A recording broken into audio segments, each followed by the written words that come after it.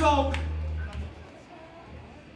goes out to one of our friends who's in prison in Sweden for his role in anti-fascist action.